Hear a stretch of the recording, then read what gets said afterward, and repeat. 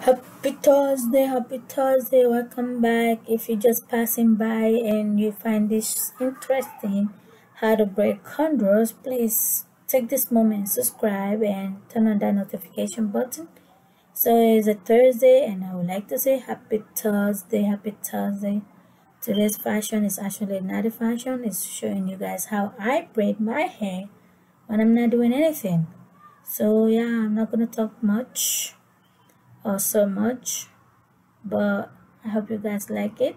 And if you do if you want me to, if you want me to do different styles like i said in my previous video i know how to braid i know how to sew. So if you guys want to see more different style of braids let me know. Enjoy and happy thursday. Be safe and be careful.